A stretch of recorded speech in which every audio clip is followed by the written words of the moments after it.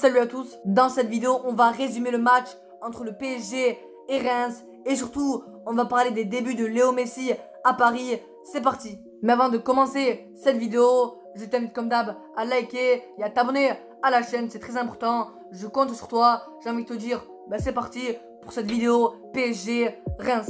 Paris s'impose, j'ai envie de dire assez simplement, facilement sur la pelouse du stade de Reims avec un doublé de Kylian Mbappé. Les débuts de Léo Messi à Paris ont été assez convenables, ont été assez bons car il était présent au niveau du jeu, il a apporté de l'intensité et personnellement j'ai kiffé, j'ai vraiment aimé l'entrée de Léo Messi au niveau tout simplement des occasions. Voilà, Paris n'a pas fait un excellent match, le PSG a frappé 11 fois au but et Reims 10 fois, 3 tirs cadrés de chaque côté. Au niveau de la position, c'est clairement le PSG qui a dominé.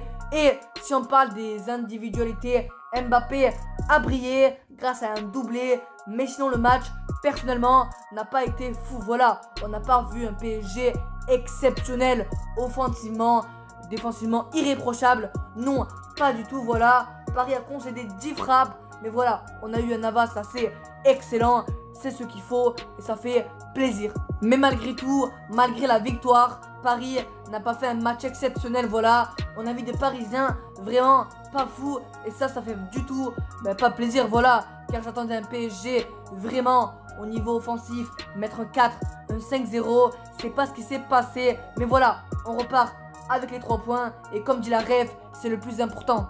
Voici en tout cas pour cette vidéo débrief, j'espère qu'elle vous aura plu. Comme d'hab, pensez à lâcher votre plus gros pouce bleu, de vous abonner à la chaîne, c'est très important.